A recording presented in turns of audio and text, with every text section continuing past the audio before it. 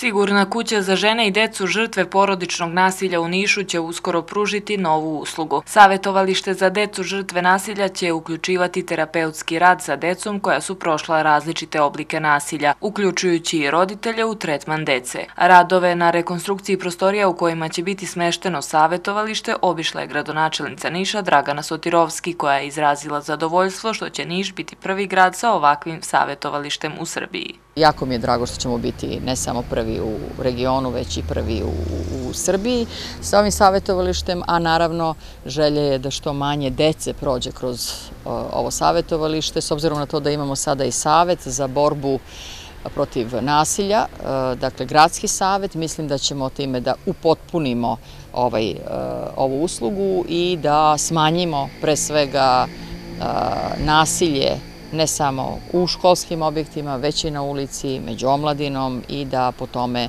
budemo prepoznatljivi kažem. Sotirovski ovom prilikom sigurnoj kući donirala panik tastere, koje je i sam grad dobio kao donaciju. Savetovalište će biti potpuno odvojeno od sigurne kuće, a uputni organ će biti Centar za socijalni rad. Prema podacima centra u proseku godišnje bude 200 prijava nasilja nad decom. Usluge koje će savetovalište pružati su terapeutske usluge deci sa iskustvom nasilja.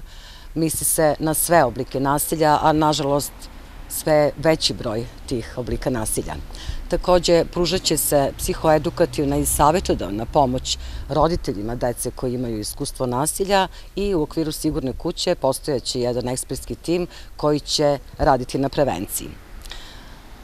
E, samo savjetovalište biće potpuno odvojeno od sigurne kuće, kako u samom dvorišnom delu, tako i u unutrašnjem delu objekta. Štjekić dodaje da imaju dovoljno stručnog kadra i da će sa decom u buduće raditi i terapeuti pored psihologa i pedagoga. Krenuli su građevinski radovi nakon kojih sledi i opremanje prostora nameštajem. Očekuje se da savjetovalište krene sa radom 28. avgusta. Nakon završetka terapija predviđeno je praćenje stanja deteta u periodu od dve godine.